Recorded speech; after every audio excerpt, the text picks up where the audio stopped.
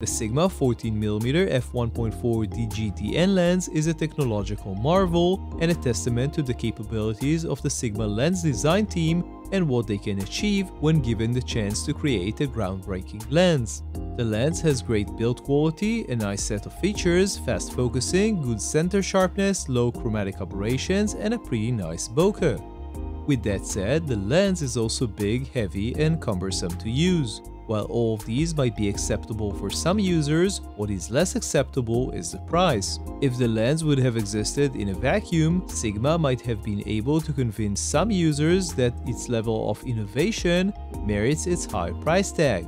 However, in a world where the smaller and sharper Sony 14mm GM lens exist and cost less, we find the Sigma current price tag hard to swallow.